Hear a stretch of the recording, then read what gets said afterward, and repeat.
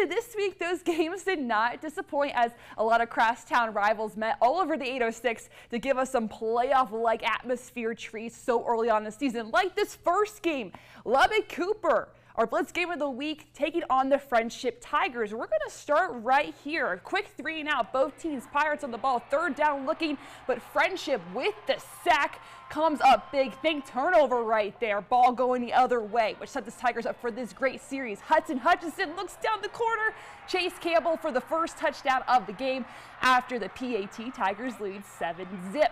Pirates, though, they're going to respond almost immediately. QB1, Rodriguez, sets out of the pocket here, looks down the field and found Jack Austin. He backpedals into the end zone, tied at 7 apiece. Final score, Frenship edges out Lubbock Cooper 35 to 34 in overtime.